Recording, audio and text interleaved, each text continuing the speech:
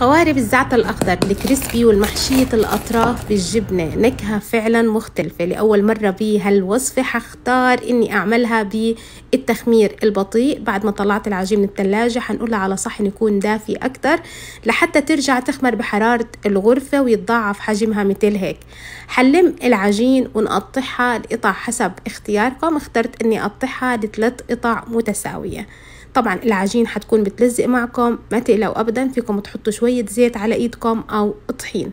حفرد كل قطعة بهذا الشكل. طبعا أنا اخترت إنه أحشي قطعتين والقطعة الثالثة خليتها بدون حشوة حتى أورجيكم شكلهم كيف بيكون بالنهاية. هون حشيت الأطراف بجبنة الموزاريلا.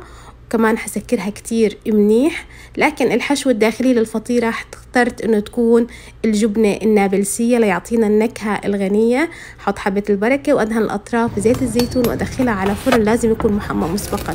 هون راح تشوفوا قديش عن جد الصوت بجنن والفطاير خفيفة وطعمها بجنن. طبعا بهالفطاير استخدمت الزعتر الأخضر الناشف لحتى أورجيكم إنه بيعطيكم نتيجة مثالية. جربوها كتير بتشهي وعقلكم بالعافية.